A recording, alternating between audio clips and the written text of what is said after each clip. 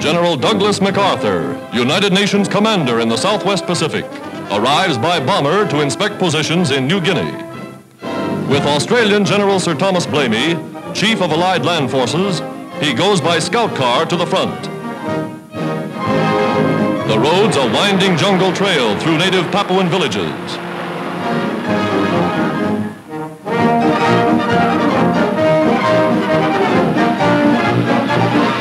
Stopping for lunch in the field kitchen of an Australian outpost, the general gets a first-hand picture of the wild terrain over which his men are fighting.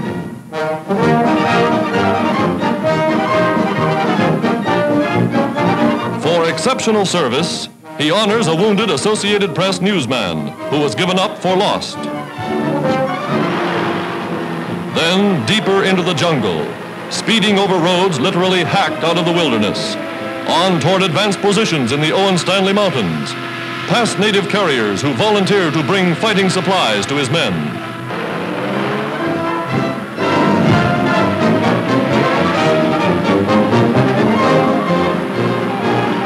This is MacArthur at the front, hero of Bataan, now sworn to roll back the Japs.